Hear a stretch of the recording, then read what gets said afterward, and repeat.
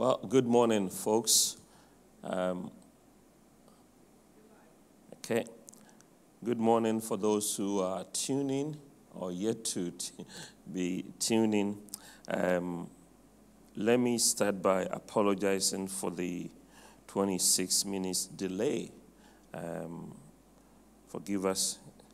And now, as promised, we are um, broadcasting this seminar. Ideally, it would have been after the ladies' breakfast, which is our tradition here uh, once a year before Mother's Day. Mothering Sunday is tomorrow, and we just want to say thank you to our mothers or the ladies in our lives for all that they do for us um, every year. May the Lord bless you. We cannot thank you enough. But um, we don't just want to want you to come and eat, and now you cannot come and eat anyway. But we feel that it's so important to broadcast this seminar. Those of you who are part of this church family, you know the focus of uh, my my vision um, to bring medical seminars to you. Last year or so, we brought you a um, seminar on prostate cancer. We brought in uh, Diabetes UK, and, um, and so on and so forth. Today, as promised, we want to help you to understand um, more about breast cancer and menopause. The first segment of our seminar is going to be on menopause. I'll be introducing our seminar speakers in a moment. First, the chairman, and then um, the one that will follow after him. But may the Lord bless you for taking the time. Some of you are joining in now, and I want to welcome you. What you can do to help yourself and to help others is to share the link uh, with your friends and family, those of you who are on various um, social media platforms. Why don't you copy the link and share it with them? Um, it will be a great help to your friends and family around the world. It is said that it is better to put a fence at the top of the hill than to put an ambulance at the bottom of the hill. So, in other words, prevention is better than cure. So, you do someone a great service by sharing this information with your friends and family. We live in a challenging time as we are all experiencing uh, um, this coronavirus situation. And so, this is one of the ways that you can help yourself health wise uh, uh, um, to maintain your health, to know more about menopause, and to know more about breast cancer, and to invite your friends and family to tune in. Um, we are making room for questions and answers. The experts are here, and we're going to, after they've spoken, we want you to send in your, your um, questions by Facebook, um, I think we're going to be on Facebook later on. Um, but at least on YouTube, you can send in your questions. If you are familiar with our church mobile phone number or the landline uh, um, um number, um, you can also connect with us by sending in your questions so that um, our seminar speakers will do their very best to answer them for you um, do engage with us because we want you to get the most out of these seminars. Okay? Um, the church mobile phone number, in case you haven't got it, is 07724 2707. Okay? Let me give that again slowly. 07724 882 702 and you can send in your questions so that we can put them to the seminar uh, um, speakers so that they will be able to answer them for you. So share this with your friends and family and stay tuned in. First topic, um, menopause, and, I'm, and I, as, I, as previously done, I brought in um, Nightingale Nurses Association. They know what they are doing, and I want to say a big thank you to them um, I want to um, introduce their chairman, um, Mr. Albert Echamfor, to take over from me.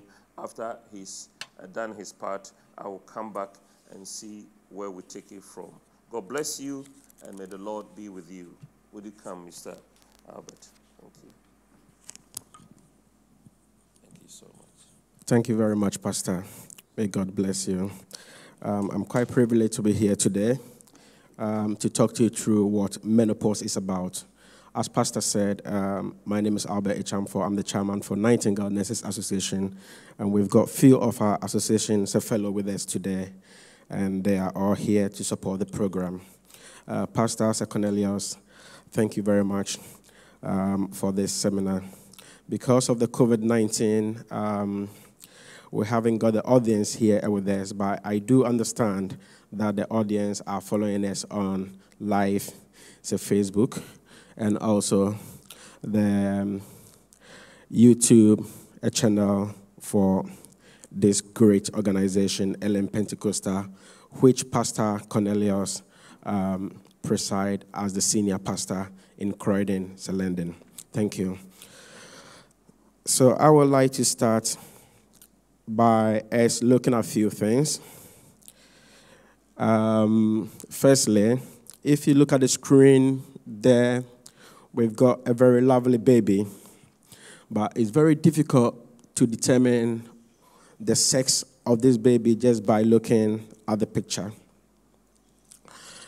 I'm not sure if anyone can guess, but looking at a baby like this is very difficult to determine the sex as to if the baby is a male or a female. It's quite difficult. As we are born, hormones determine our physical appearances, and hormones help to build our physical appearances as well. Either you are a male or a female. This is a picture of a mango tree. When a mango tree is like this, it doesn't really appeal much for eating. But once you have it like this, then it becomes more appealing for you to have some eh, to eat. So the human journey is also eh, like this when kids are quite young or babies, they don't attract each other in an opposite way. But as we're growing and growing and growing, we get the attraction for each other.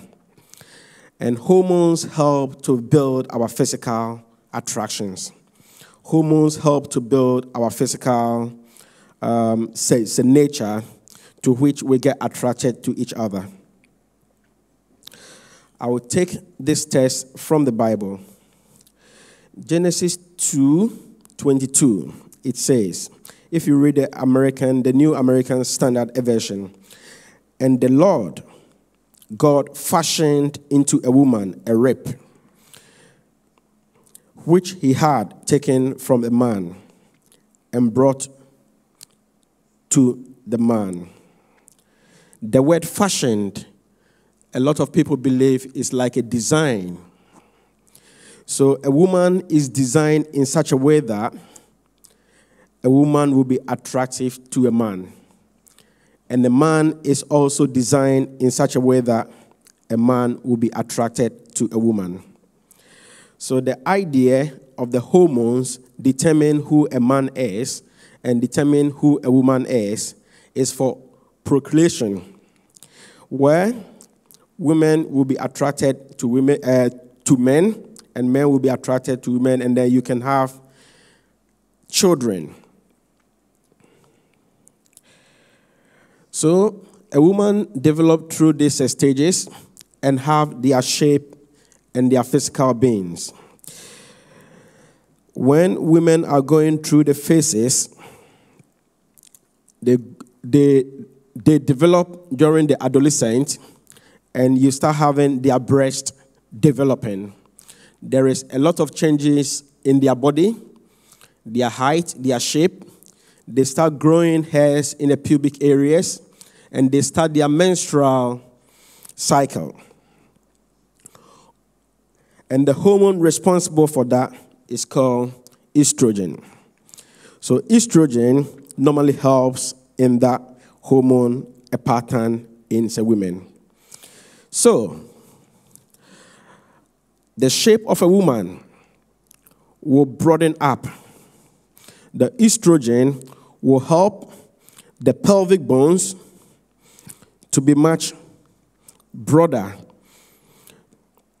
The estrogen will help a lot of muscles to be formed around the backside of the woman. The estrogen will help the breast to come in such a manner and the muscles around the arm, the armpit, and the abdominal area will be formed in such a manner to support the breast. The estrogen will help these hormones to be formed in such a manner that when the woman carries a baby, the muscles is in a good position to help the woman carry the baby throughout the nine months journey.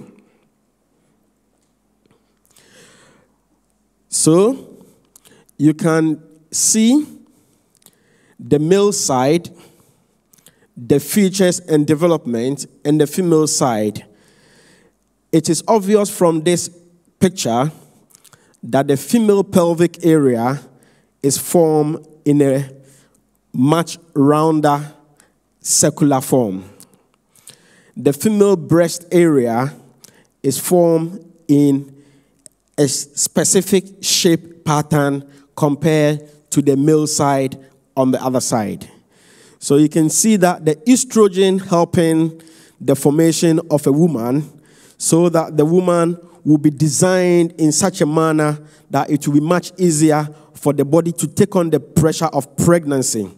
It's quite different from the way the males are developed. So, as I said earlier, when you have the estrogen helping the woman to form their pelvic bones, the pelvic bone goes much broader, much circular, which helps the woman during pregnancy and then during a delivery. So you can see the picture here that the design of the body and the design of the pelvic bone is somehow different from the way the males develop their pelvic bone. And it's also different from the way the male have their body developed. So I'm going to do a comparative one with the male. So you can see clearly from this picture that the pelvic bone of the man is not broader, it's not wider, it's quite small compared to the pelvic bone of a woman that we saw here, which is much broader, wider, and all this is being shaped by the hormone that will determine whether you are a female or a male. And on this case, or in this instance, is the female hormone. Then you ask yourself, what will happen if a man gets pregnant with the shape that they have? Men, normally, our development is not shaped in such a manner that we can hold pregnancy. So, most women have this natural development shape, and they also have their development of the bones and the muscle designed in such a manner that they can hold pregnancy. So, we have talked about how men and women develop, and we have attributed the development of good pelvic bones good muscles that will prepare a woman for pregnancy and delivery, and we have attributed that to a hormone called estrogen. Now, women normally from adolescent age stage go through a menstrual cycle. And the menstrual cycle is a cycle where their ovaries get developed and ready to have sperms that will fertilize to form babies. So every month they go through that, and the hormones that is responsible for that is estrogen. One, it controls the fluid and electrolytes of the body, and it moisturizes the skin of a woman. Two, it prepares the follicles for the release of an egg. That is the egg in the woman, and also controls the changes in the woman's cervical mucus. If we want to talk a bit more about the physiology of the menstrual cycle, we will say the estrogen also prepares the internal environment for fertility and the sperm, and it makes sperms very friendly by attracting it to the ovaries. Now, every month, this is what happens the ovaries get developed, waiting to meet a sperm, and if it does not meet any sperms, it breaks down and it comes as menses.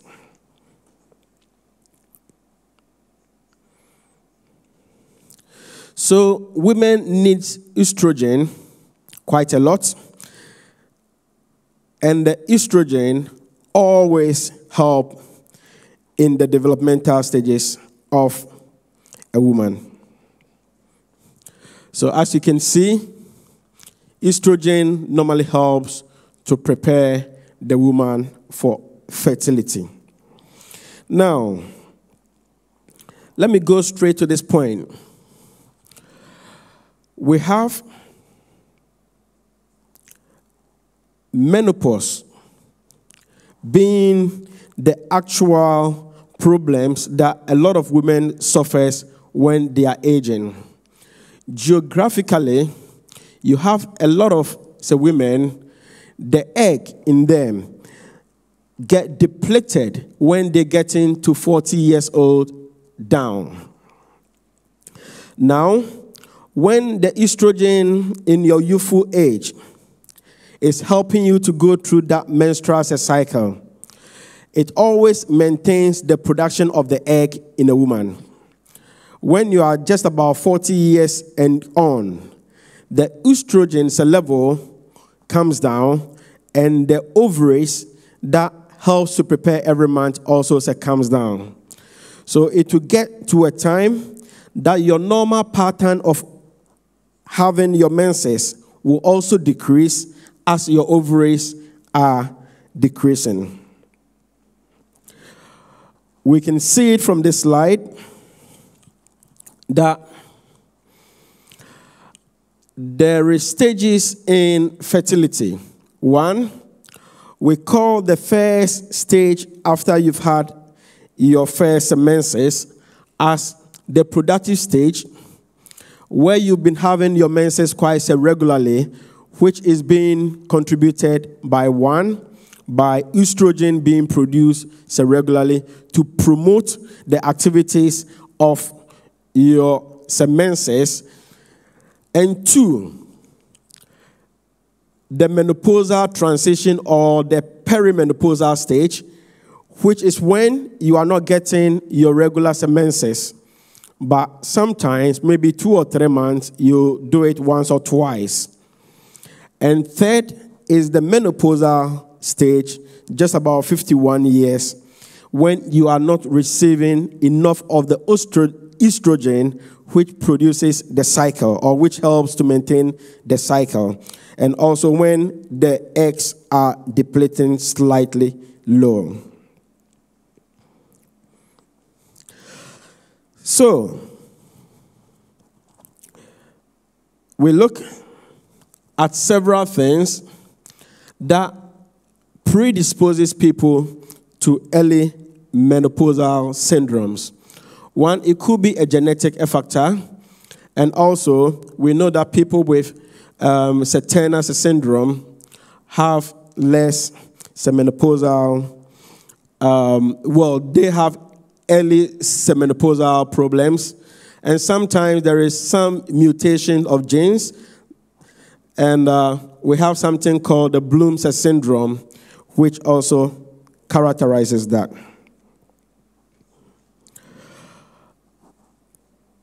We also have people going through a lot of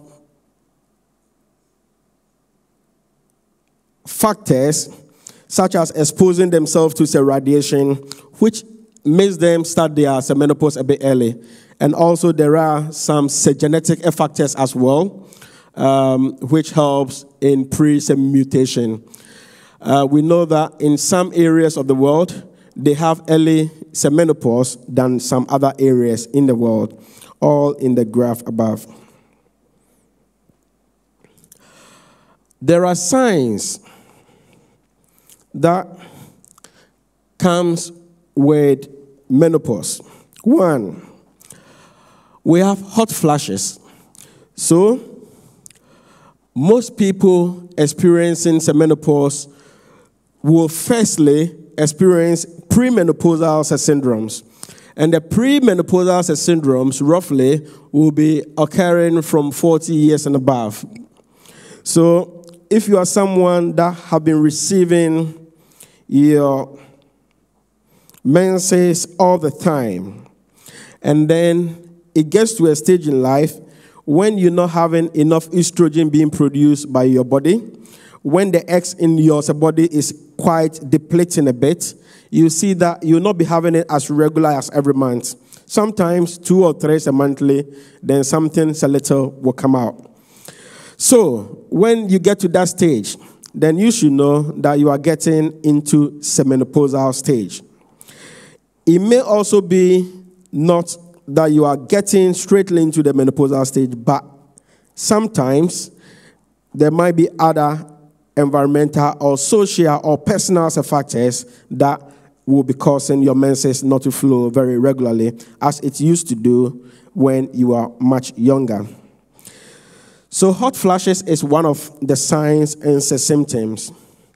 And because you'll be having hot flashes, you tend to sweat a lot, especially when you're sleeping at night, it will become hot, then you start sweating. And when you start sweating at night and you don't have enough sleep, you wake up with fatigue. And when you are stressed during the day with much fatigue, what normally happens is that you might lose your libido sometimes. And because you're not having enough estrogen produced, which helps with the lining of your uterus by ensuring that all the time the vaginal area is being wet. When it gets to this stage, you'll be having increased vaginal dry or say dryness. It will affect your mood because it may well be that at that time of the age, you are a career say woman, you're doing so very well, and uh, you started experiencing the symptoms that you are not familiar with. You can be a little bit upset about that, and it will affect your mood as well. So when that happens, people with less sleep due to the hotness, mood disstability, can have other symptoms like dizziness, which comes with it. And also, people do gain weight through the process, and uh, some people also get a little bit of incontinence. You always lose concentration, and uh, it's quite stressful time for a lot of people who goes through these stages. Then your nails becomes a little bit brittle and it breaks off. And sometimes because you sweat quite regularly, you start developing odor from your armpit. And then people also have irregular heartbeat associated with menopause.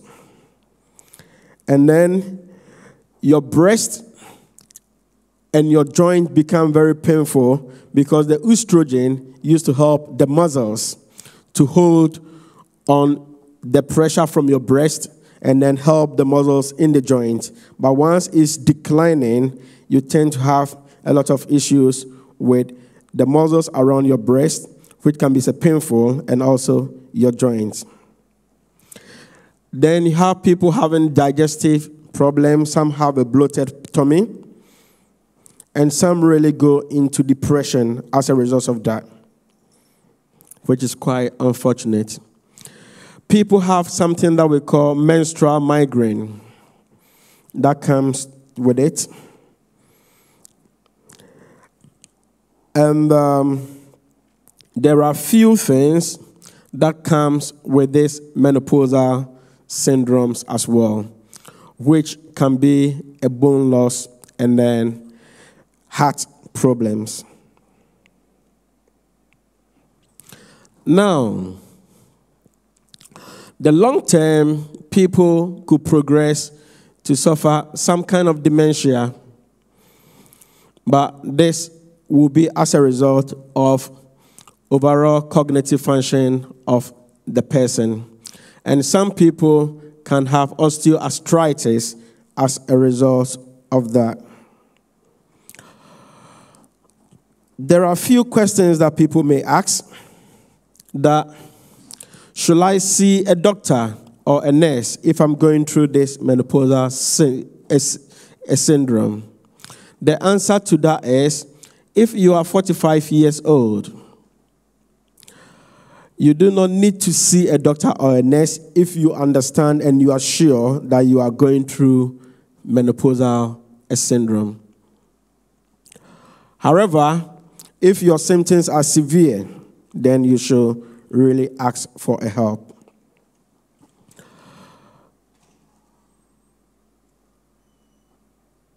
So several answers has been given to that question, and I believe Pastor will pass it on. Or when you go to the menopause website, you can get it. Someone may ask, is there a test for menopause? Yes, there is a test for menopause, but usually, that test only is given out to people going through the menopausal syndrome who are much, much more younger. So if you have someone like 20 years old going through the menopausal syndrome, maybe the doctors will decide to let a person go through the test so that we will have a clear mind as to if the person is really going through the menopausal syndrome or the person is having other illnesses. Can I still get pregnant when I'm going through some menopause? As long as you are still having some kind of interrupted menstrual cycles, yes, you can still get pregnant. So you have to be careful when you are going through some interrupted menstrual cycle. But if you're not having your menstrual cycles at all, then obviously you're not going to get pregnant. So it's quite tricky, and you always need to be careful. Treatments. So we can use hormones because we know that the underlying um, defect in the declining of the production of estrogen as a hormone is the main reason why you go through that symptoms. So we have hormones which are basically um, estrogen um, based that you can have. One of those is ospemifene. Um, you can have which helps to um, relieve the vaginal dryness and then ospemifene is not estrogen though. I mean, you can have estrogen hormones, and one of the medication is ospemifene um, that helps with the dryness of the vagina area. Then If you're going through depression, yes, you can have some antidepressive, some medications, or we can work you through some exercises and breathing techniques to help you with that symptoms. Um, there are some medications which are anti-seizure air medication, which helps with the hotness and the hot flashes that people have been having all the time. And then one of the questions is, what can I do to protect my bones? So we said the estrogens helps in bone formation, and that is what helps also for people say, to say develop. So when it's going down, sometimes um, we all say suffer a bit, and then um, you can take vitamin D as a supplement, uh, but you have to be careful with the dose and always go through your general as a practitioner to give you the right dose, which is your say GP. You can take in either an active or a passive exercise, depending on how fit you are. And then, um, if you need a doctor to prescribe or a specialized nurse to prescribe, you can always uh, contact them. One, two. There are some herbals and medicines that can also help. Um, people go for um, primrose oil or St. John's wort. And uh, uh, there are some alternatives to medicine which are say, therapies such as um, acupuncture, home- homeotherapy that helps with the pains that people experience during menopause.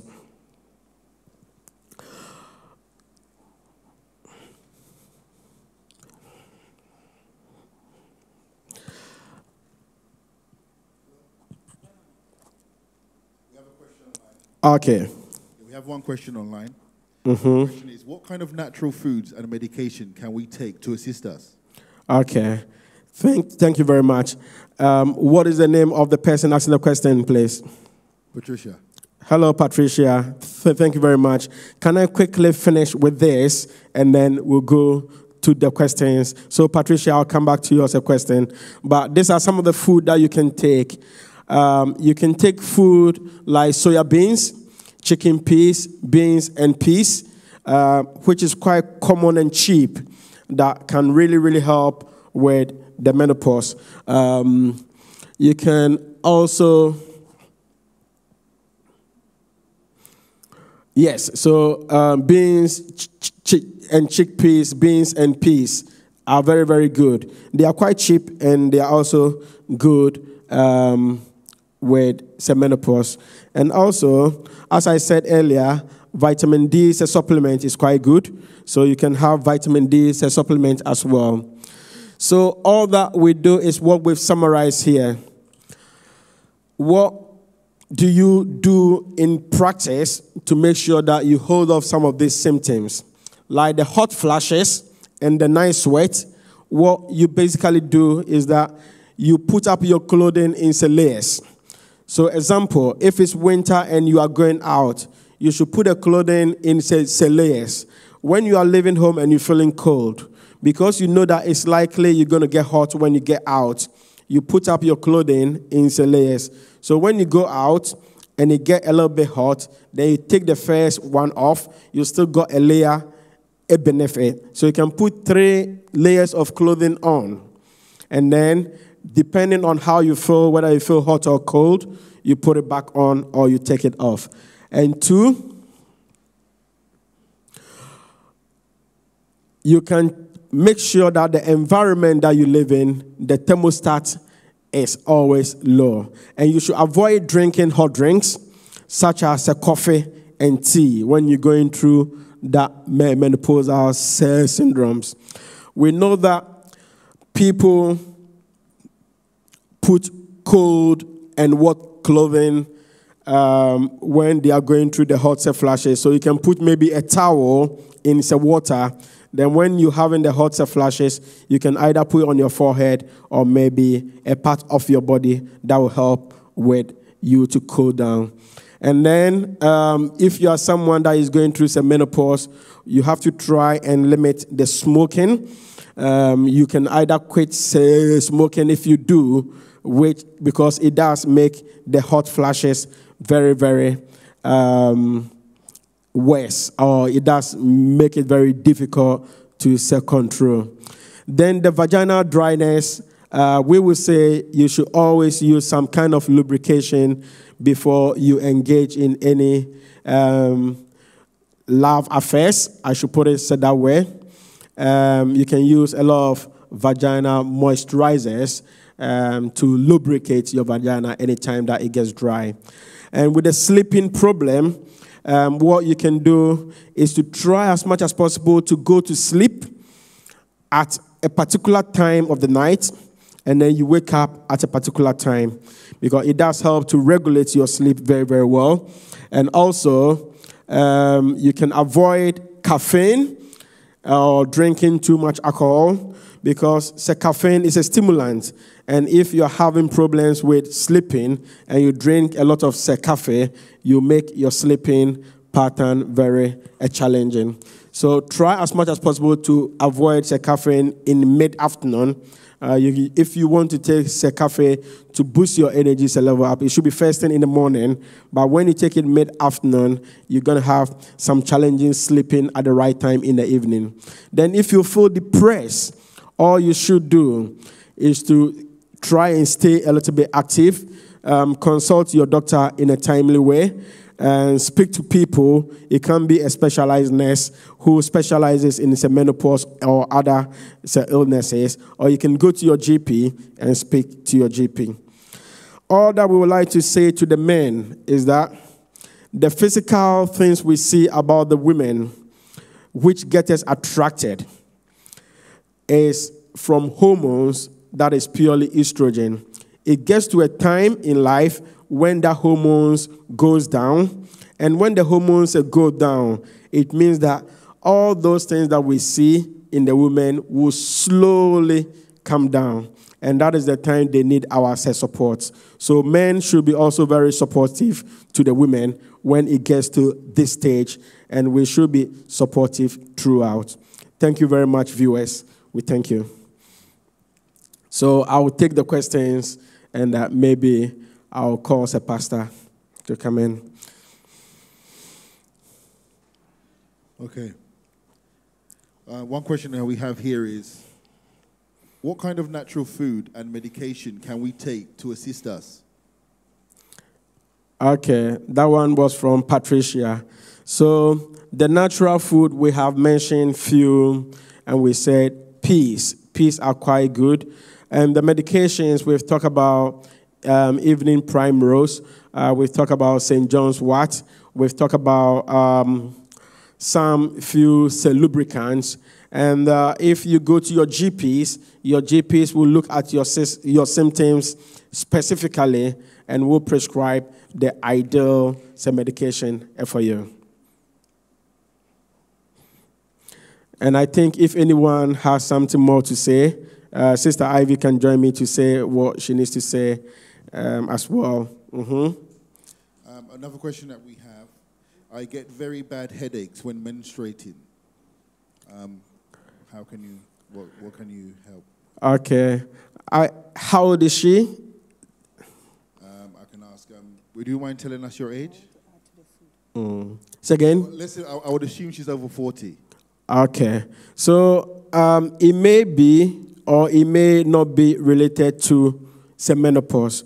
But I would advise that she should quickly see her GP about this and talk through her symptoms. It might be symptoms that is associated associated with menstrual cycles because some people have some symptoms like cramps or some other related symptoms associated with when they are doing their period. So it's good she sees her GP to address that. So Sister Ivy is going to add a little bit more to the um, food that we need to take during some medication. Uh, good morning, everyone. For the foods as well, for the natural uh, herbs, herbal medication, I won't be recommending anything personally. But what I'll say is prefer see your GP and then let them advise. For herbal medications, I won't personally advise over the internet that you should go and buy this herbal or try this because I haven't tried it and I haven't got evidence to prove it. So I'm not going to recommend anything in the form of herbal. But during the menopausal period, because your estrogen levels is low, we recommend that you eat dairy products like milk, yogurt, cheese, with things that will give you vitamin D to increase your bone density. We want you to eat healthy fat like omega-3 that you get from fishes. We also want you to eat whole grains that will give you vitamin B, thiamine, niacin, that helps in the development of your bodies. We also encourage you to eat all fruit and vegetables. Every fruit and vegetable that you can lay on, whether, wherever you are in any part of the world, any fruit and vegetable that you can lay your hand on, it is important that you eat as much as you can. As already said, reduce your alcohol intake as much as you can. Alcohol and caffeine doesn't go well in postmenopausal and premenopausal and menopause. So please, as much as you can, you reduce the alcohol intake. You eat protein as well. Protein is very good for you. So as long as you eat food that contains your beans, your legumes, your meat, it's very important that you have them as well. In addition to that, you also need to, how do you call it, eat food that, uh, foods like um, chicken peas, that's say chickpeas, peanut, flax seeds, grapes, berries, palms, greens, and black tea. They are all part of the food that you need as a postmenopausal woman. And also, to make you very happy, in one research I was reading, to help with your vaginal dryness, you please need to continue to have sex don't ignore sex because uh, when you have sex, you have that natural lubrication. So, to help you with the dryness, I encourage you to have sex during your menopausal, premenopausal period. And the more you have sex, it will reduce your vaginal dryness. That's what I have to add. Thank you.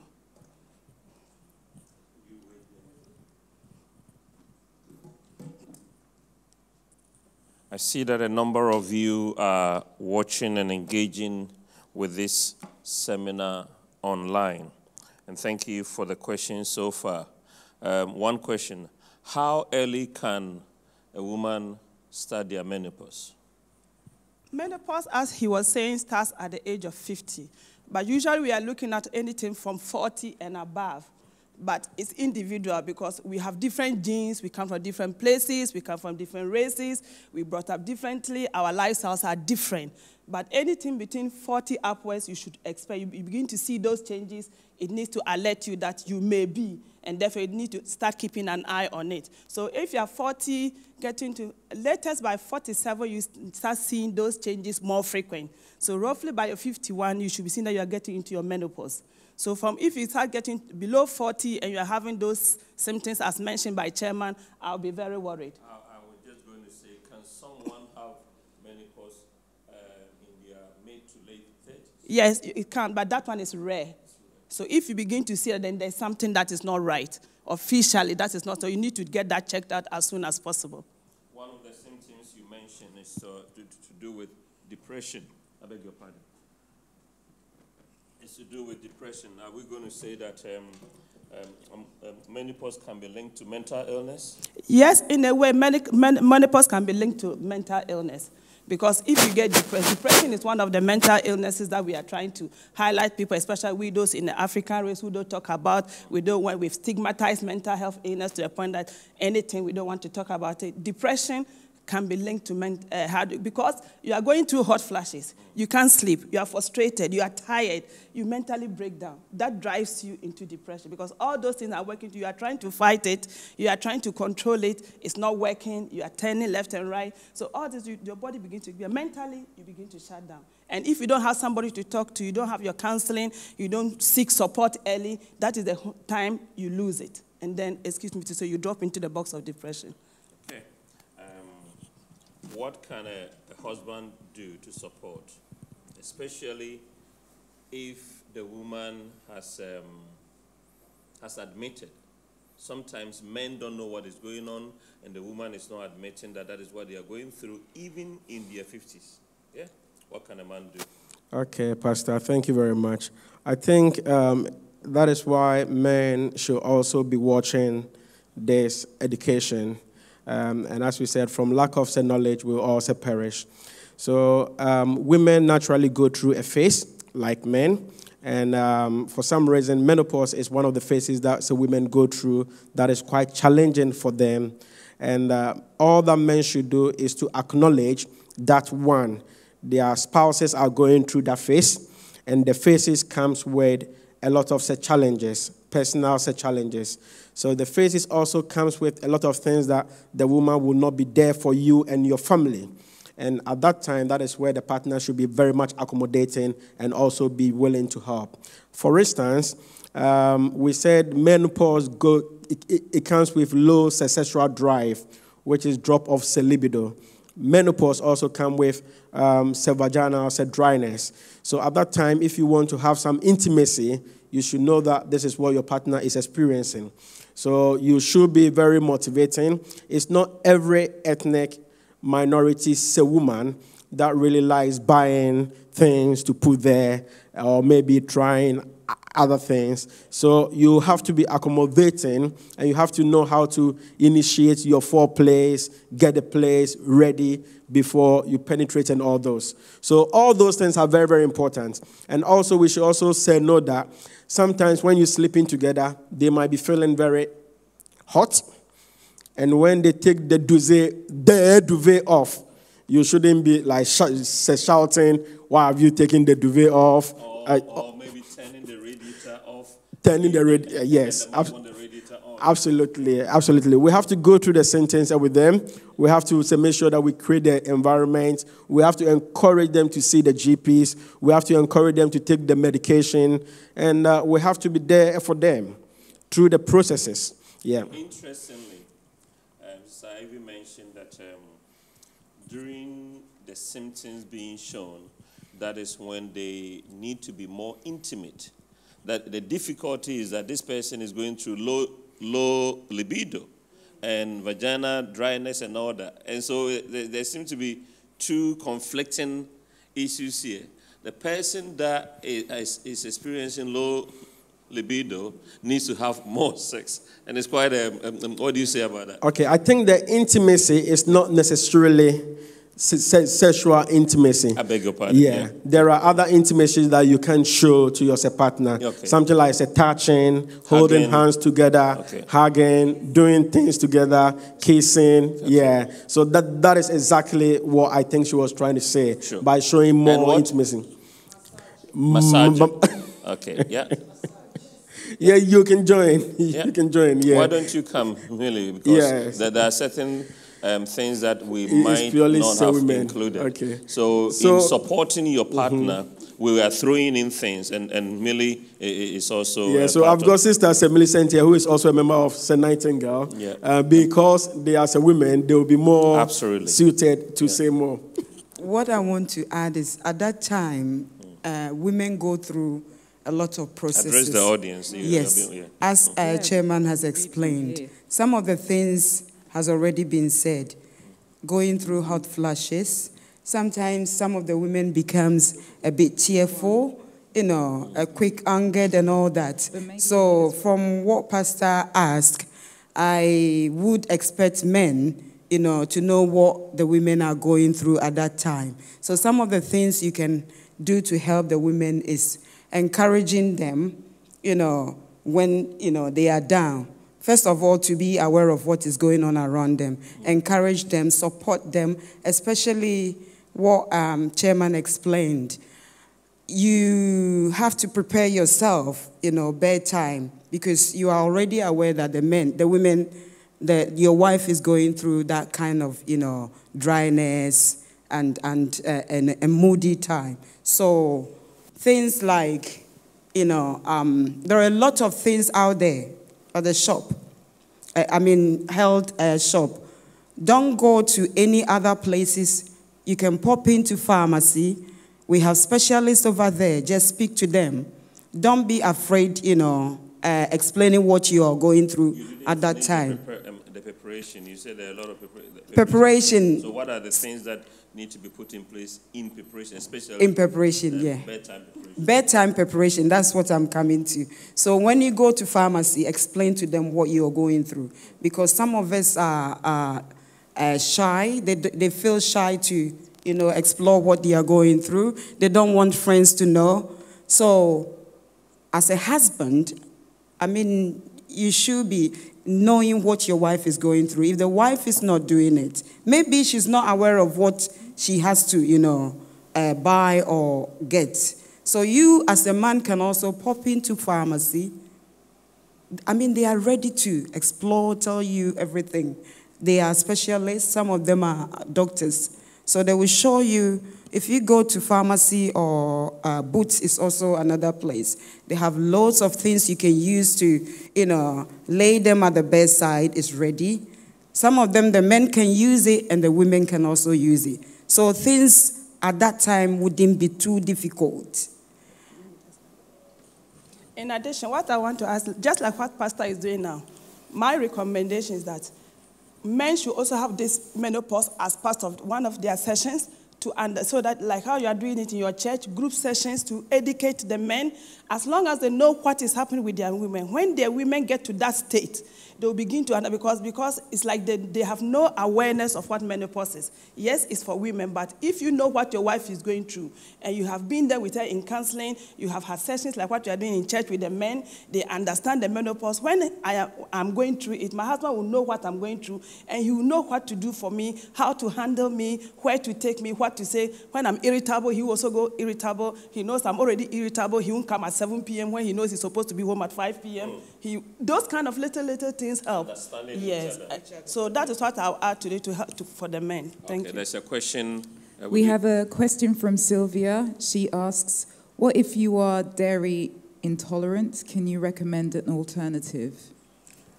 Okay, um, which is something to do with diet. Dairy, milk, dairy. Oh, dairy. When you're okay. going through um, menopause, okay. Yeah.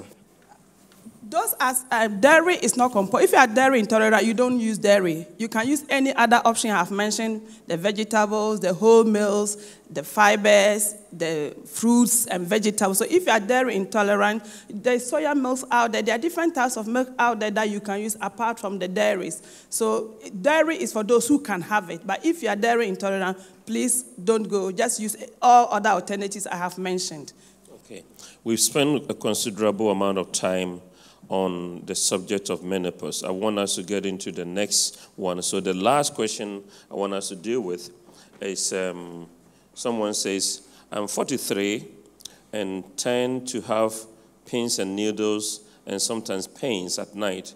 Is, has this got anything to do with menopause? Okay, so as I explained the premenopausal symptoms, my first question to this person is the person losing her regular menstrual cycles. Okay, because that would be the first indication that you are going through premenopausal syndrome. And then you can link it with the symptoms that come alongside. So if this person is having a regular mm. and is having pains and needles, then it's very likely it's not menopause. But if the person is having inconsistent menstrual cycles and have been having this associated symptoms, mm. then maybe it could be linked. Sure. Yeah. Okay. So before I will go to the next one, I will say that the men should observe and note that the estrogen that helps in the development of the female body, the one that we got attracted to, to like and enjoy our women, is the same estrogen that when it get depleted, we see that they'll be going through these uh, symptoms. So, what we have enjoyed before, when it comes to the level that we have to really play a part in helping, we should always do. Thank, Thank you. you. Thank you. In addition to the pins and needles, there are so many causes of pins and needles that you can have. Yes, menopause may be a factor, but there may be any other underlying conditions. So the best thing is get them to rule out all other things that can cause pins and needles. Then they will say, oh, now it's nothing else but it's menopause because pins and needles are caused by so many factors. So I don't want you to link it to menopause. Maybe there's something sinister happening, and maybe that is the first trigger point for you to know that something is happening. But you may be thinking because my menses is irregular, I'm in the 47, I'm this, you may be linking, but there may be something underneath. Get them checked out, rule out, and then let's say there's nothing in there, and then you can say it's menopause. Okay. It is always important to seek advice and that is the reason why we are doing this. We are just about to um, introduce our speaker for breast cancer. Keep the questions coming in, keep them clear, and um, I want you to tune in. If you are on platforms social media platforms, which are the popular ones are on um, WhatsApp and all that. Why don't you copy and share the link so that um, your friends and family can tune in? You, you already know the benefit of the questions that are being asked, and we want you to ask the questions. Um, we are going to move on to the next subject. But before we do that, I want to remind you of the fact that because of the virus, the coronavirus um, pandemic, um, we are not having services as we regularly have.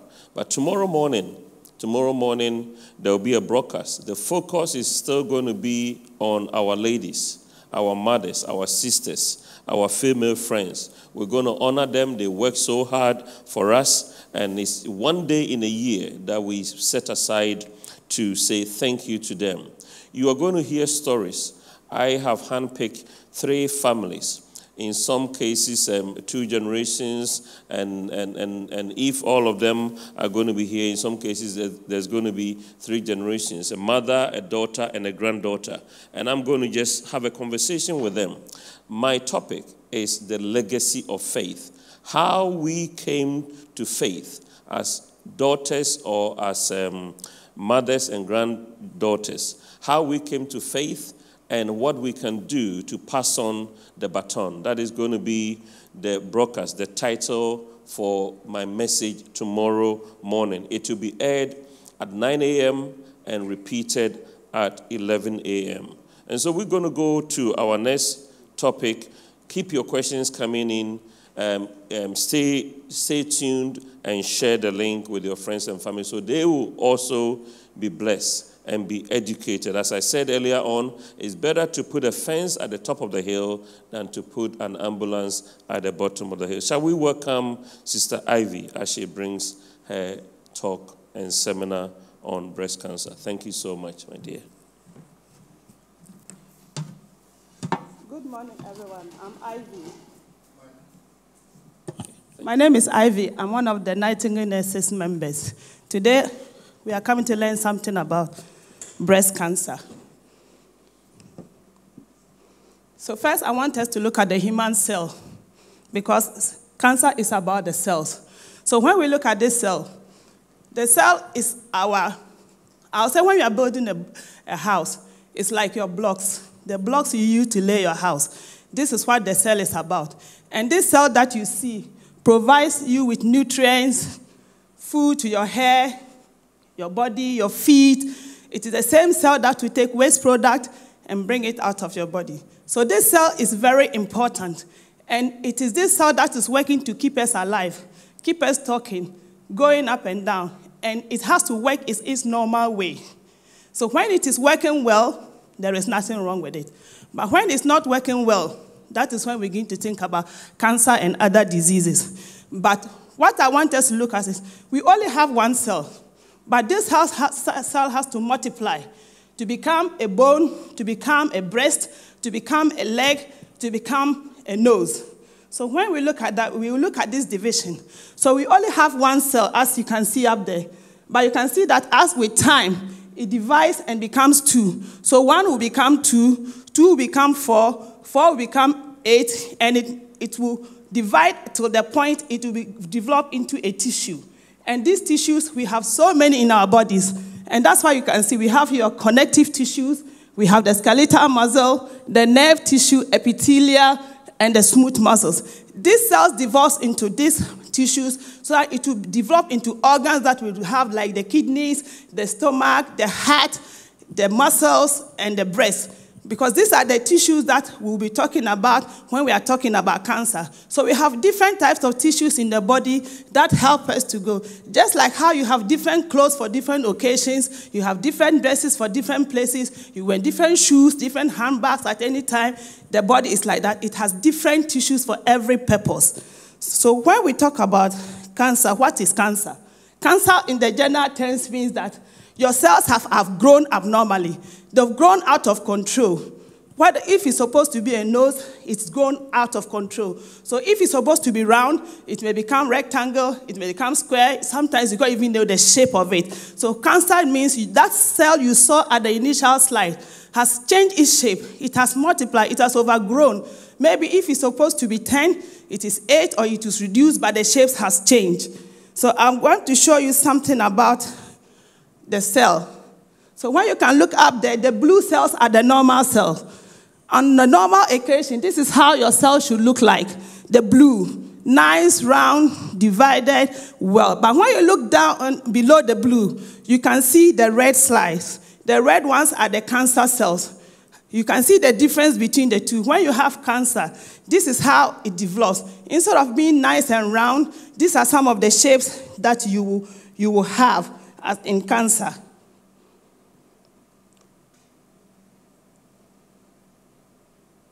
So when we talk about breast cancer, we are saying that the tissues in your breast, the soft tissues, the smooth muscles, the fat tissues in your cells have grown abnormally. They've had abnormal changes. They are not doing functioning as they used to function because they have changed in shape, size, and function. Something has gone wrong that they have begun to multiply or change in shape that we don't know. So that's why when we say breast cancer, that means the cancer is located just in your breast. It's only confined to your breast. It's, uh, it's affecting your breast and other parts. So it's only in the breast at the moment that we are talking about. So that is what cancer is about. Breast cancer is about. And when we look at some statistics, we have about 52,000 women every year being diagnosed with breast cancer. And breast cancer accounts for 15% of all cancers in the UK. So, all the different types of cancer we have, breast cancer accounts for 50, and is seen in mostly over 50. Why do we say over? Why are they saying? Because this is the time that, as you heard with the earlier lecture, the estrogen levels have dropped down, and therefore the estrogen levels reduces. It's common in men than women, and in the UK, one in seven women are likely to develop breast cancer. For the incidence between the races, it says the, the Caucasians are slightly higher than the blacks, but it's just about the same incidence for the, the breast cancer in both races. It's just a little difference. But when you look at the death rates, we have higher death rates. The black have the higher death rates because, according to research, it says our type of cancer, when it recurs, is a, is a more aggressive form. So the blacks minority have more deaths in cancer than the whites.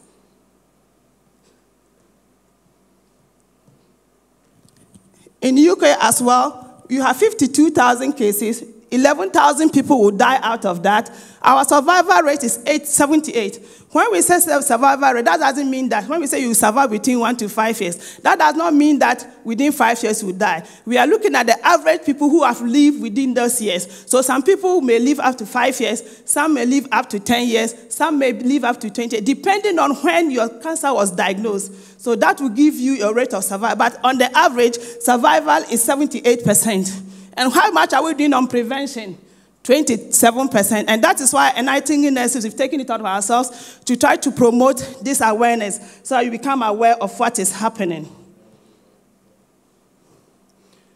Some, we have some, we don't know the cause of breast cancer. Cancer in general, there is no known cause. Nobody has ever to pinpoint that it is this or that has, that causes cancer. But there are some factors that if you, are, if you have, it makes you predisposed. It increases your probability. It increases your likelihood of developing breast cancer. And those ones I have, I have divided into two those that you can control, those that you, you can't control, and those that you can control. So, those that we can control as human beings, we have no control over. The first one is your genetics. When we talk about genes, we are talking about the, the, genetic, the element in your cells that encodes your DNA, that makes you resemble your father, your mother, or take hereditary genes from your, your, your, your generations. And those run in families. And that is why, if you have somebody with breast cancer in your family, prostate cancer in your family, there's an amount of cancer in your family, you are likely to get breast cancer.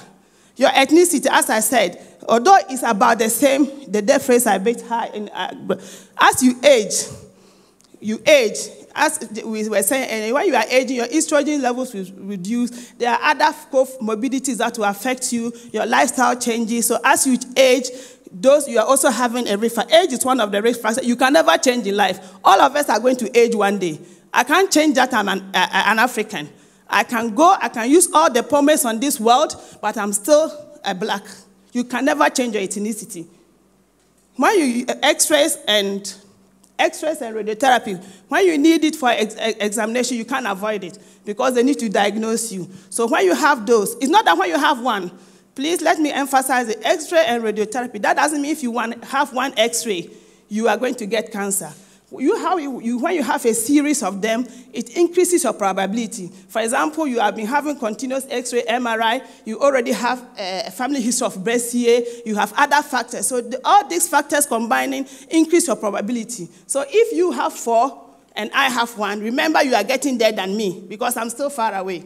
If out of what I've listed, if I have one and you have four, remember you are on the way than I because you are ahead of me. When your breast tissue some of us, our breast tissue are soft and not very thick and dense. But when you have a breast tissue that is dense, you have a risk factor of getting breast cancer. When you have had a tumor before, a, a, benign tissue, a disease of the breast before, you also are likely. So these are all things that add, like you are adding money on top of money to buy something. The more you have, the more you're likely to buy what you want. But if you, the less you have, you can't afford it. So that is how it works. Age of puberty. The earlier you start puberty, the better for you. Then you, are, you have less. But if you start puberty late and your menopause too is late, all those account. So all menopause and puberty affect the because your estrogen level determines uh, when they are low. It also determines your cancer levels. Hormones, as I said, estrogen, progesterone, lutein, all these hormones affect you. So as you age and these are deranged for whatever reasons, you, you are likely to get a, a, a cancer. Previous cancer, your height, and not giving birth. When you give birth, according to pregnancy reduces your rate of getting cancer because it changes your body systems, hormones, because you are no more, the ovaries are no longer going to secrete, uh, how do you call it, estrogens till you give birth. So that period gives a bit of change in your body systems and it, it also, so if you don't give birth early and you wait and give birth late, it also increases your, uh, your, your your probability. Your diet, the fatty foods you eat, the alcohols you drink, the caffeines, the fast foods we eat, everything that we eat in life, your diet also have a probability. Smoking also affects you. We, those who work night shifts, sleep, deprivation of sleep, as we heard in the earlier speaker, affects you and it also gives you a probability. So all these factors are same things that we can and we can. Obesity, if you're overweight, because you need more hormones in your body, and the more the hormones are in the body, the more they have effect on the cells in your body, you are likely to. I've talked about the alcohol pill. Then you have contraceptive pill. If you use contraceptive pills as well, you are likely to have it, as well as hormone therapy. You are also likely to have it. And if you are not exercising, you are always sitting in front of your TV. You are always not doing any exercise, just walking up and down, doing nothing for yourself, relaxing nicely. It, it, it affects you. It gives you your probability of having breast cancer. So let's look at the signs of breast cancer. These are signs, these are things you have to look out for when you have breast cancer. The first one is lump. When you feel your breast, that there's a lump in your breast. We'll do breast examination later if we have time. The first thing is to look out for a lump. If there's a lump in your breast, it's an alarm. That doesn't mean you've got it. It doesn't mean that any lump in your breast is breast cancer. But the moment you find a lump in your breast, you need to be aware of that. When your nipple is pulled in, your nipple, it should always be out, but if it's inverted in, it's a problem. Every day you have a nice round nipple out, then all of a sudden you begin to re- realize that, ah, my nipple is gradually inverting in. You should, it should alert you. If there is dripping, you have discharge from your nipple, redness around it, and swelling around it. If your skin around your breast is changing, for some time, you begin to realize that the skin around your breast is changing. This is not my usual skin, it's changing. You have to be aware that you should look for that. And when there is dimple, sometimes on your breast, you just find a bit of a dip in your breast, and you haven't seen that before. It's something new. All these things I'm listing here, there are signs. It may not or may not be, but the best thing, is when you see it, seek help as soon as possible as you see it.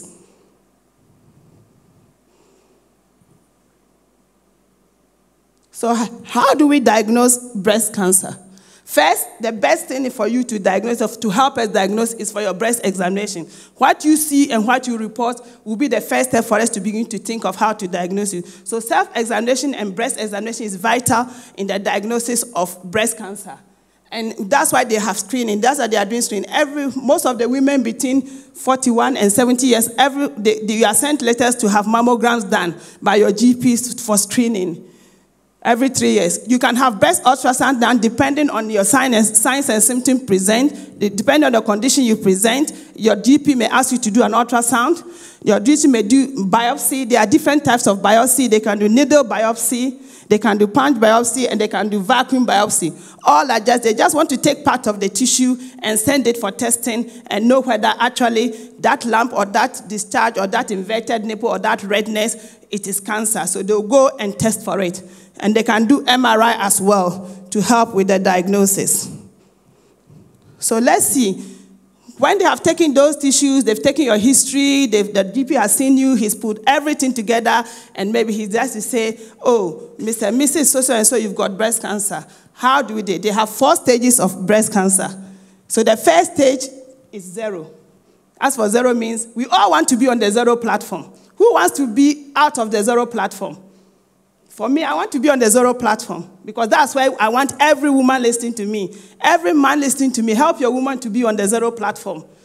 You, as you play with the breast day and night, you can also pick up those signs and symptoms. So when you pick up, you can say, oh, darling, ah, today your breast feels hard. Today I can see this discharge. Today I've noticed this. It's not for the women alone. Please, men, help us. Just how we help us to examine your prostate, help us to examine our breast as well whilst you are playing.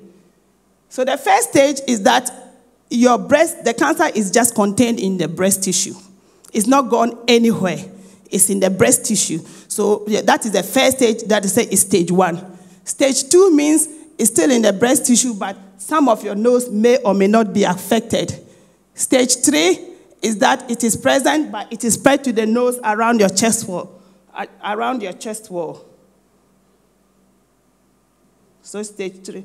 So when we look at these notes here, if the round, round little dots you see in these pictures are the nodes. they are the points where the filter is like a filter point where you filter through your blood and your the waste product filter through them back into your system to be discarded or to be absorbed. So they are the filter points. Normally you shouldn't fill them with these points. You shouldn't fill these round, round dots you are seeing. So the moment you are doing a breast examination, you begin to fill these points. It should alert you that something is not right. So these are what the points I'll, I will do it when you are doing a breast examination. So you need, so when you are in stage three, that means some of this nose here has been affected. Stage four means that it has spread to your body, other parts of your body, the liver, the bone, the heart, the lung, it has spread. That means it spread to the body. So these are some of the tests I mentioned they can do a live ultrasound, MRI, CT scan, bone scan, liver scan. The liver scan is just to see whether it has spread to other sides of the body. So treatments. There are different types of treatments they have. First, they can do the surgery, one by removing the lump. If they find the lump, they will take it off, and that is it.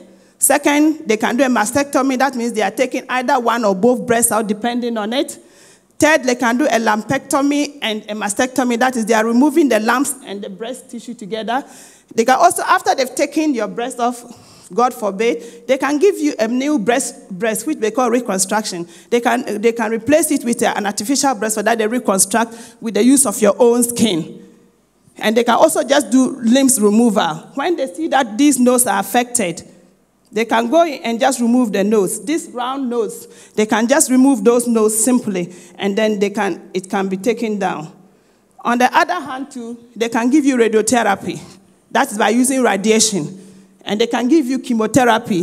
That is by drugs. That they give you chemical drugs to take. So they'll give you drugs to take, but it will be monitored. And they can give you some hormone therapy to help with, with the cancer. So let's look at a few slides.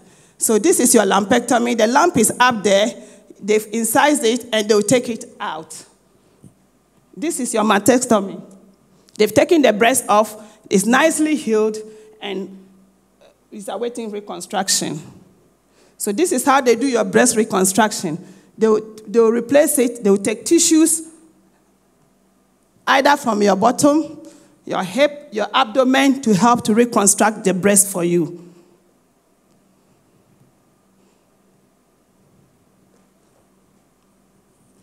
So some of these, all these treatments you are having, there is nothing in life that doesn't have a side. When God created us, He created our own body. So anything that you put from outside, there's likely to have an effect on the body, either positive or negative.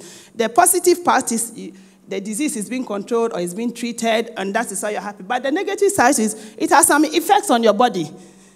We call something lymphedema because the node in your armpit or on that side has been removed. The drainage is not going to work well. Just like how you have a blocked sink and it's not draining and the water collects in your sink. It's going to block and therefore the affected arm, you see that may be swollen because the drainage system is not working. The drainage system is not flowing to get to take it in and out. So that's part of the arm will be flowing. So we call it lymphedema.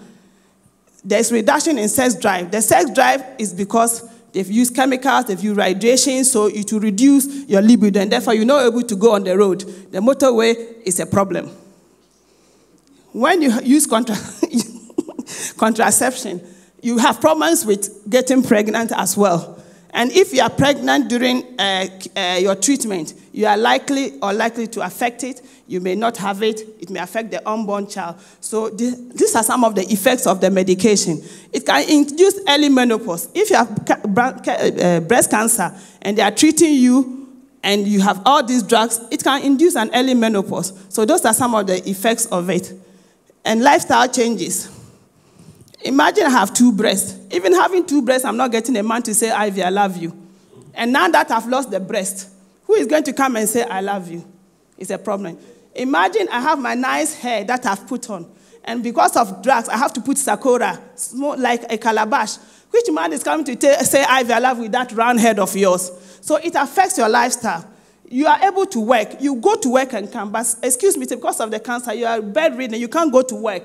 You've lost social contacts. Lifestyle will change. So all these things affect your lifestyle. And therefore, you either you become miserable, you'll be happy if you have support and everything out there, you, you, you have a problem. Your diet too will change. If you're somebody who like eating fast food, they will tell you to change your diet. So all those things will affect your lifestyle. That's what I'm saying. You have a low sex drive. You have married a young man who is on the edge and you are telling me I have a low sex drive, your family, your, your marriage is on, uh, uh, uh, on the line. So all these are going to affect your lifestyle. So we don't want it. That's why I want every woman on this platform hearing me out there to be on the zero platform with me so that we'll all be able to fight breast cancer. The men should also help us to fight it. So what can we do to prevent breast? So first thing is to be physically active. The more you become active, the more the body is working.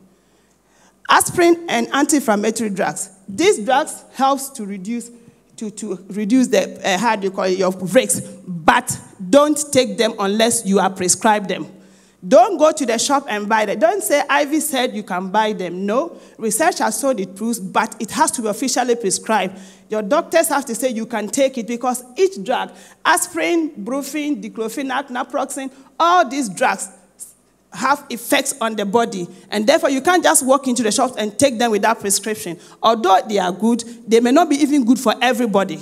So please don't walk and take them. You need to be prescribed. Breastfeeding. Breastfeeding is very good. That's why we advise your, uh, the women to breastfeed for uh, 18 months. Exclusive, because it helps with your breast development, the breast tissue. It reduces all those uh, dense tissue in your body.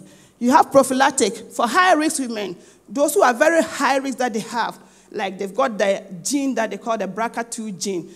If they have tested you in your person, you have those days and you have other factors and they consider you very high risk, there is special medications they will give you, including a family history, that the doctors will prescribe for you to help you reduce the, the risk of getting cancer. Lifestyle change.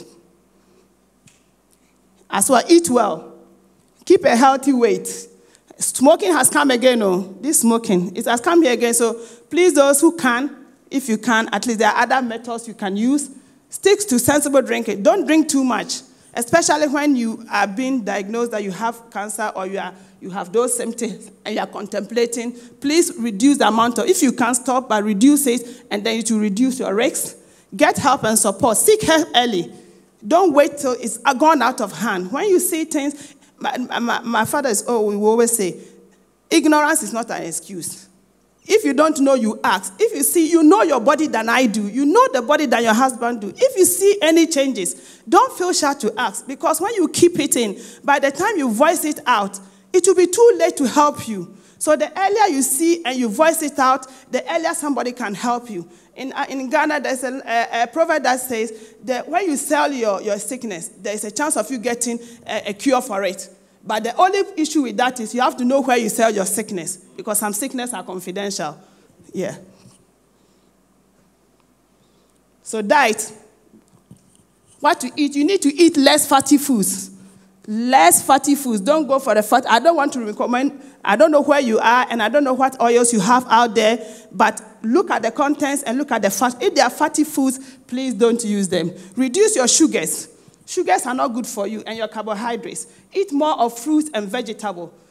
Uh, your sugars create acidic environments, and that's we want something that can give you more of less acidic environment, and that is helpful for you. You eat more of your fiber diets, more fruits, carotenoids, sweet potatoes, kale, tomatoes, onions, broccoli, celery, chamomile. Reduction in coffee, especially those who have passed the menopause and then the post-menopausal stages. Reduction in coffee is very good for you. So these are some of the lifestyle changes you have. As I've put these pictures on the screen, you can see the different types. That, uh, and uh, the one most important thing to we need antioxidants, and that is good to fight cancer. So we have beetroot, we have pecans, broccoli, all the berries. We have kale, beans, spinach, blueberry, turmeric, in the, uh, in the, in the herb size, we have cinnamon, clove, turmeric, cocoa, cumin, basil, thyme, ginger, as much as you have there. So we have the natural herbs and the fruits out there that we can use to help us reduce our risks. Yes, the risks may be there, but if you're able to put things in place, you won't have so many risks that will accumulate and make you more likely to develop breast cancer later. So, in summary, breast cancer, what I want you to help me to reduce breast cancer is keep checking your weight, keep a healthy weight with your food intake and everything, exercise regularly, get enough rest, limit your alcohol drinking, keep on breastfeeding, and in all things, please, please do breast examination once a week. Examine your breast once a week. And that is the only way you can pick up. If you can get your husband to be your second eye, so that they will able to pick signs that you can see. So for now, I'd like to end here, and if you have any questions for us, we will take it. Thank you so much.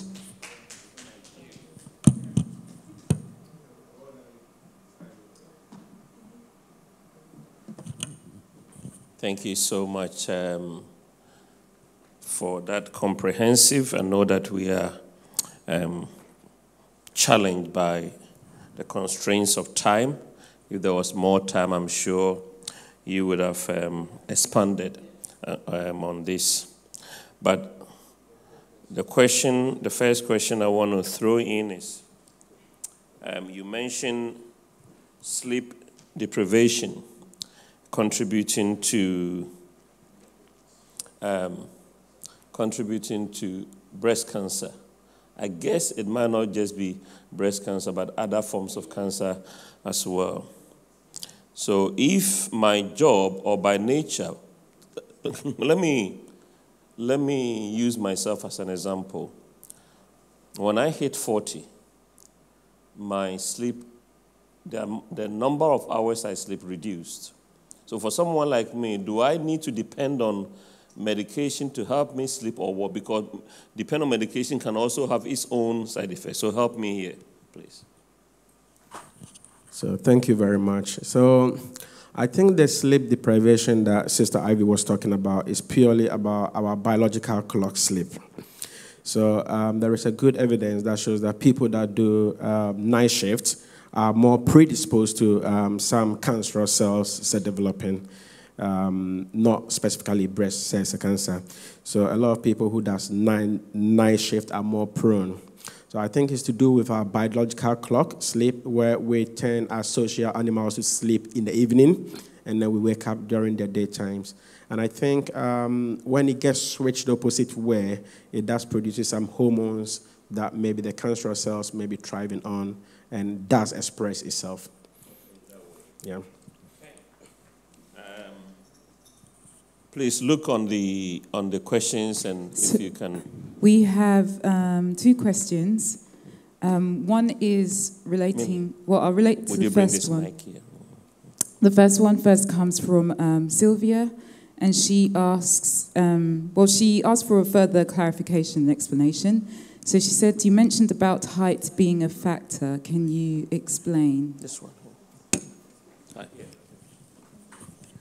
You want to? It's, about height and obesity, you know, the Okay, so I think what Sister Ivy was trying to explain is your BMI, which is the body mass index. So basically, uh, we have a way that we calculate BMI to indicate if someone is say, normal, someone is um, within range, and someone is obese. Uh, what we tend to see is people who are that obese or who are more than the weight that they should be, they are more prone to the um, cancerous cells expressing. Um, in most of the ethnic minorities, as she said, we've got um, a gene called BRCA1 and 2. Yeah, that expresses when you are a little bit bigger, but it's not all the bigness that comes with that. It depends on your BMI, and we calculate the BMI by looking at your weight and then your height. So you can have someone who is big but has got a good height. It doesn't mean that the person is obese.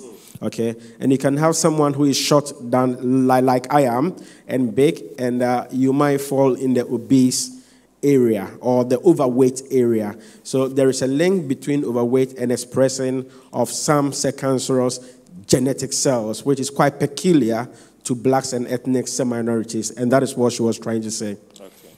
Yeah. Thank You you. want to add anything? Yeah, and um, yeah. Okay, we got a question from Nana online. What is the difference between a benign and a malignant cell? I believe that is. Okay. So benign is the early stage of the cancerous cell, and most be- benign um, development as, are not cancerous. It's like um, we have cells, and when the cells multiplies than it should do, we say that you've got a benign.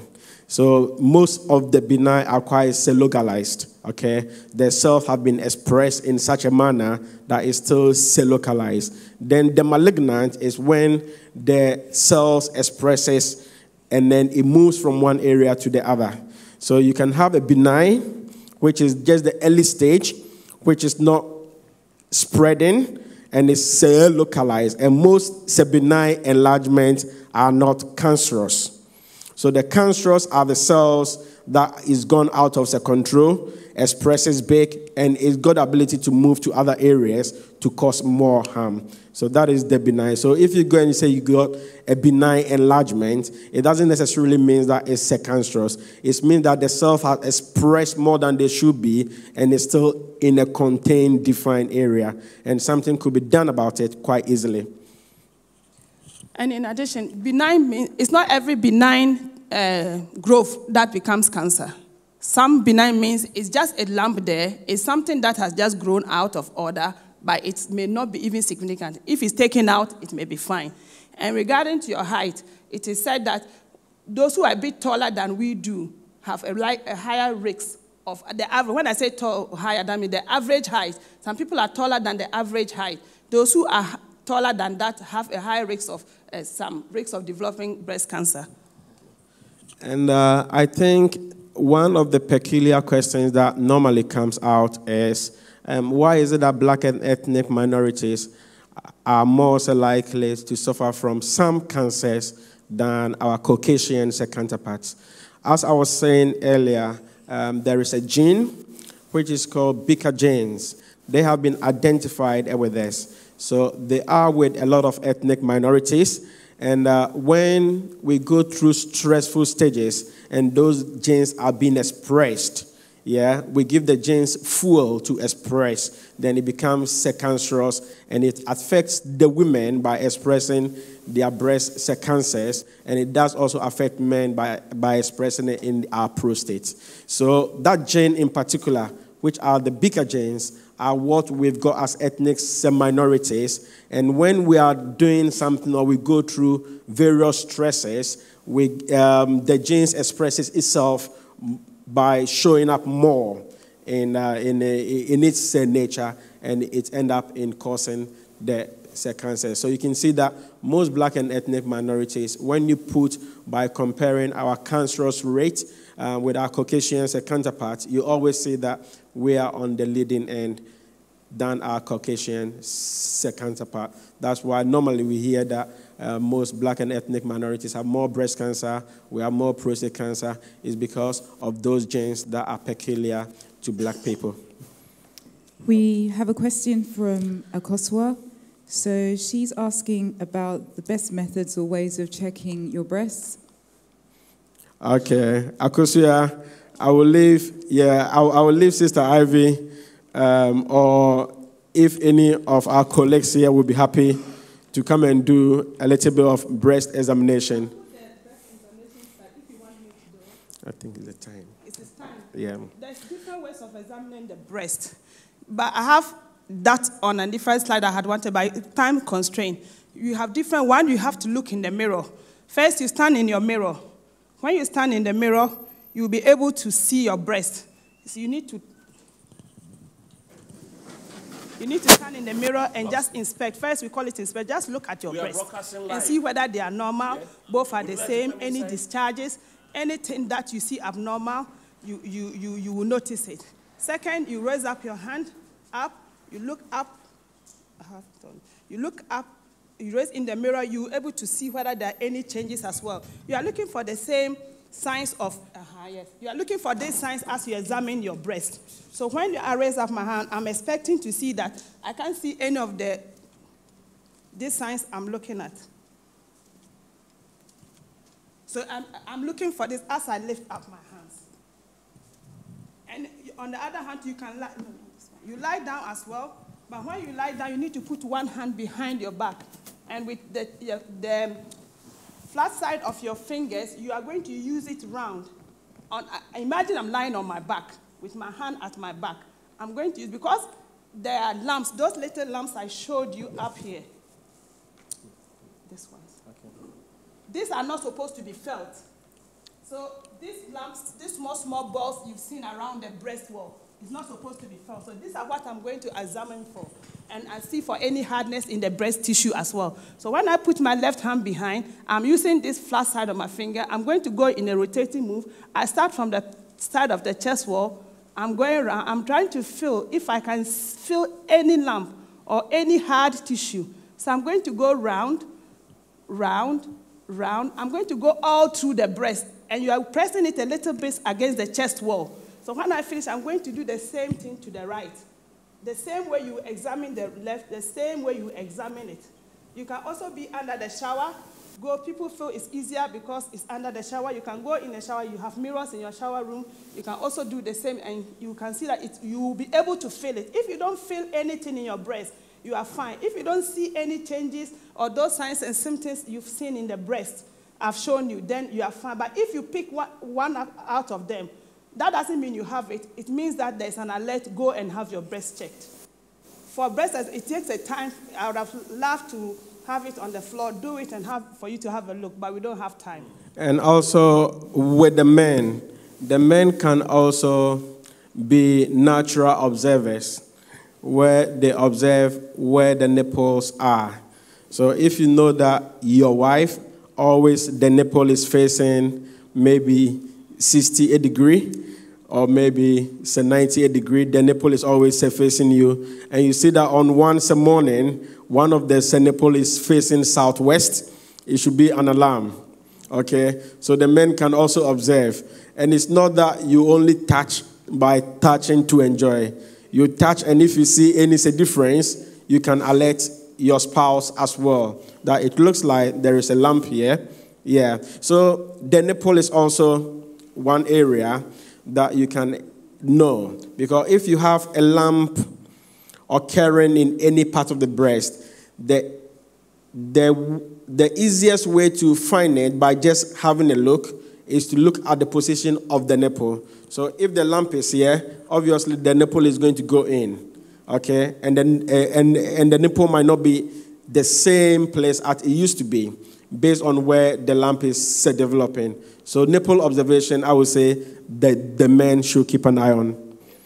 We have, sorry, we have one more question. Um, it's, it's related to menopause and it comes from Rose. So she wants to know is it possible that a woman can miss menopause?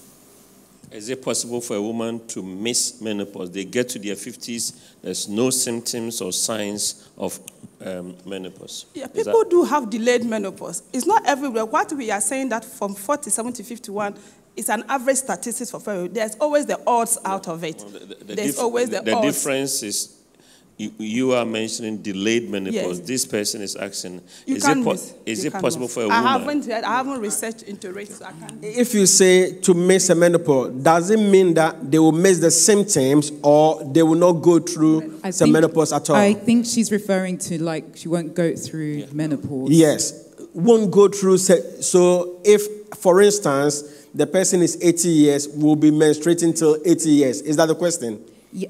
Um, yeah. I, because mm. the question might be interpreted in two ways. Yeah, so, so could, I think it could be just missing, as in they don't have any clear have symptoms, any symptoms, of it other than yeah. just. Yeah. Okay. Yeah. So, yes, there are people that do not experience much symptoms. They experience some transient uh, symptoms that they, they might not even take note of. Mm. Yeah. So, it's possible like that, that someone will only see that their menstrual cycle is being distorted and eventually will get distorted eventually without them necessarily experiencing the severe symptoms that we did describe about. So if that is what the question is, yes, then it's possible that some people will be having some transient symptoms that they might not necessarily experience it.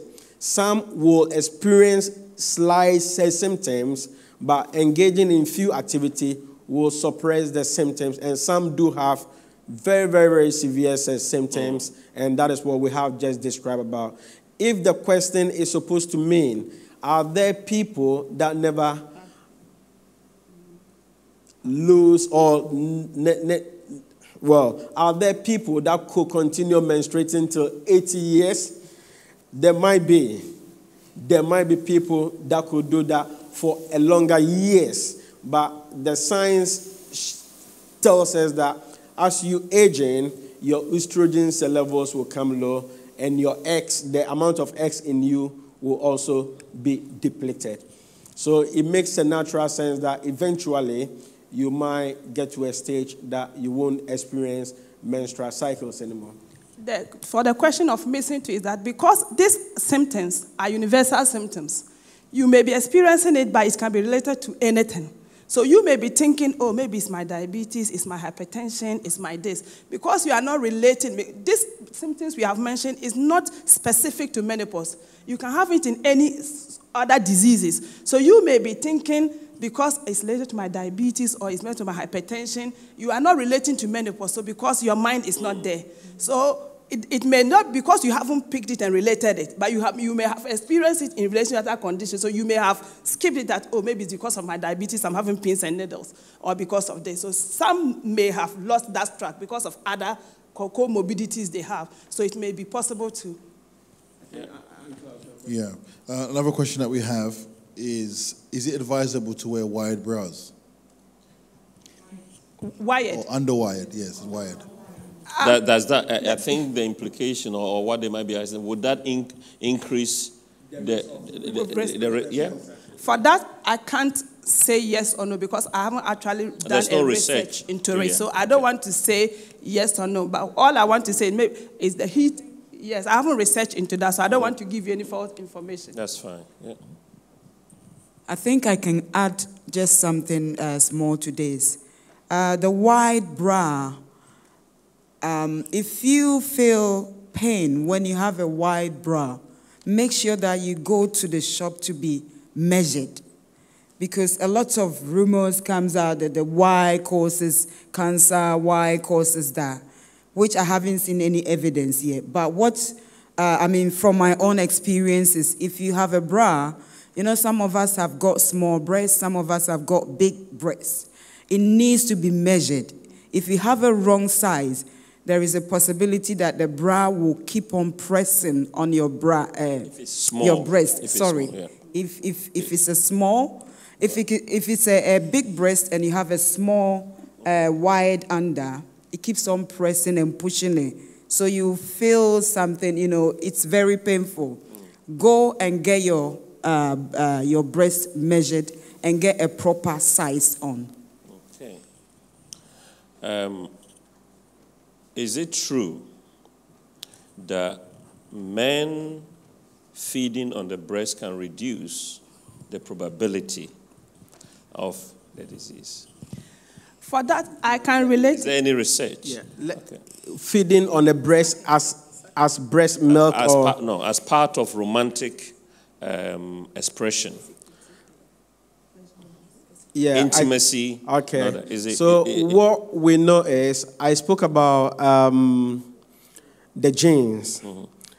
BRCA1, Baker two, and all the BRCA genes. There are some hormones that if you release it, it suppresses the expression of those genes. And some of the hormones are love hormones, like oxytocin. Yeah, they try to suppress the expression of those genes. So when you're making love and you're touching breast, you're kissing breast, it releases those hormones that suppresses the release or the, it suppresses the activation of these genes that expresses as cancerous genes. Mm-hmm. So you may link to the fact that if you expresses in an act, if you engages in an act, which is more love act, okay, because it continues to releases the love hormones, which suppresses the gene from expressing, you are likely not to suffer breast cancer as a result of that.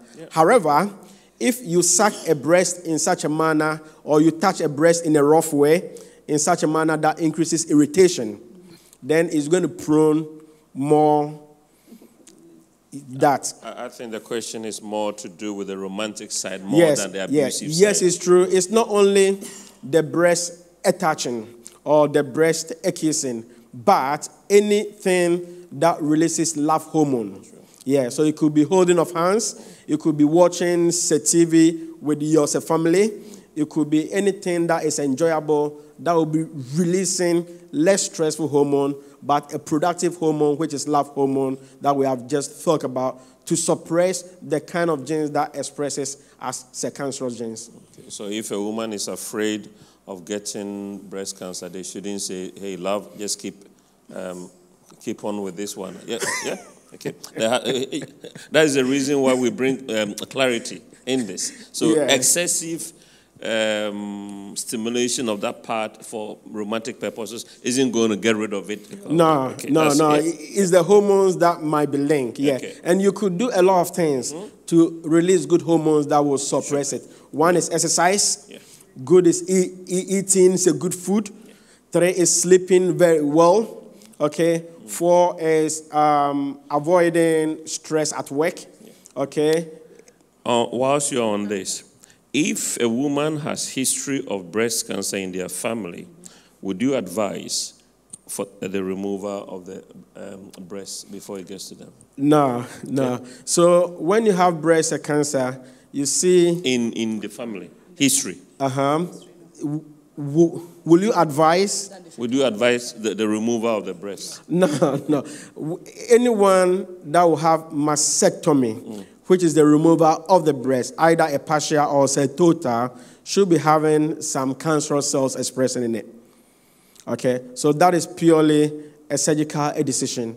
So you go to the oncology department, they will examine it, and they will either decide to cut a little bit of the breast out, or maybe they'll give you treatment for it. No, I'm not saying someone has got it, but someone who's got history. If you have Their got grandmother history- has got it. Uh, their ma- grandmother died of it. Their mother died of it. Should they, No. in prevention, yeah, No, the, don't take out your breast Mm-hmm. because yes, it's hereditary, but you may not get it. If you are able to control your lifestyle changes, you may or may not get it. You may have the genes, you may have it, but if it's not expressed with, through your lifestyle changes, as it's stress hormones or anything, it's like you may not even, you may be out of that generation that may even never get it. So I would advise you to take your breast. And until the doctors have said, yes, IV, God forbid, mm. yes, now that you have got family history, your genes have begun to express the, these hormones, and then you are therefore likely to get it, and it is your choice. Do you want to take it out now, or you want to wait? So for now, I will say, I will say no, don't take it off because it's,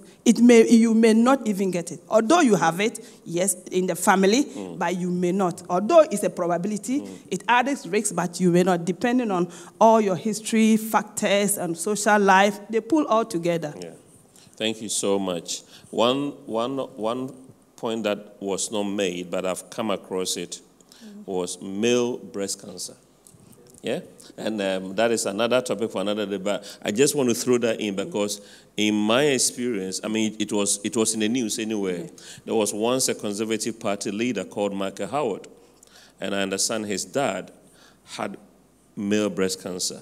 And, and that is just to alert people that there are all these things. I guess the percentage is minimal. Minimal, yeah. The percentage might be minimal, but it is there, and prevention is better than cure. Being aware of it can have a lot of impact. Yes, male, males do have. I think it's in a slide. It's Yes, in a males slide, do yeah? have, So- yeah. Okay, so that males is, do have breast cancer. yeah, okay.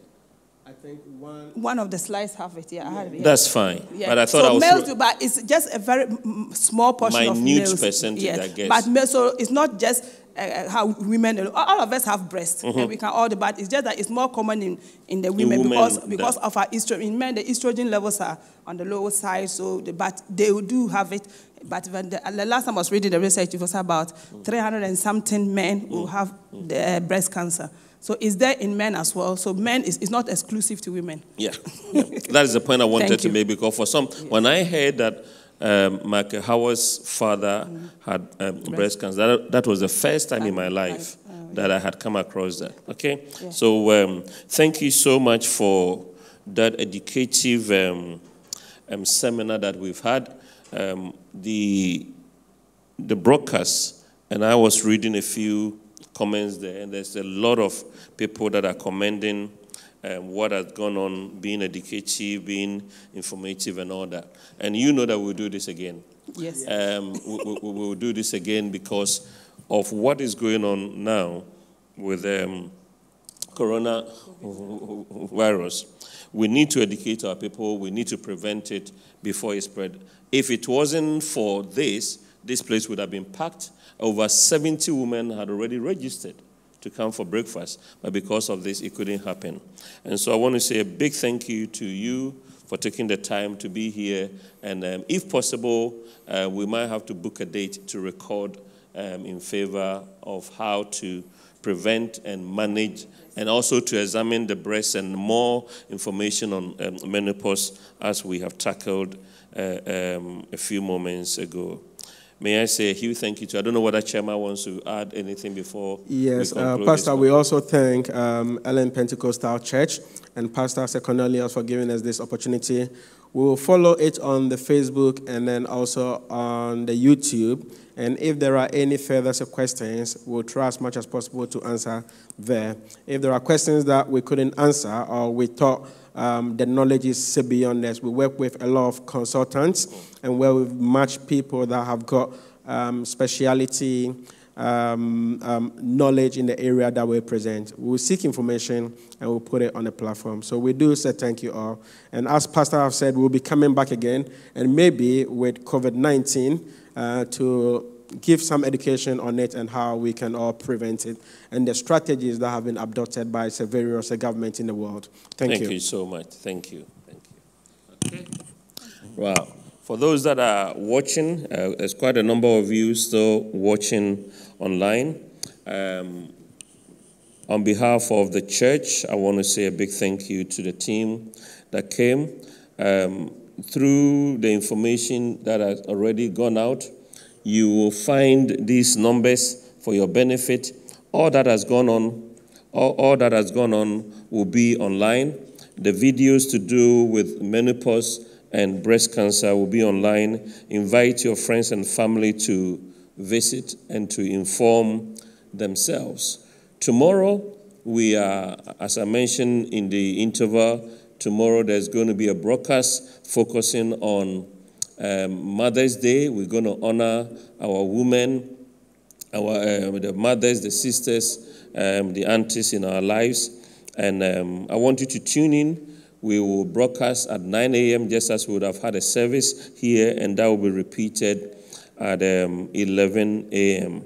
Uh, if you have further questions, just as the chairman indicated, do bring them in. But tomorrow, the focus is going to be on honoring our mothers and the women in our lives. I've got three families, in some cases, two, uh, two or three generations that I'm going to have a conversation with. Uh, for them to express their gratitude to their mothers and also to focus on the legacy of faith, how their faith has been passed on from one generation to another.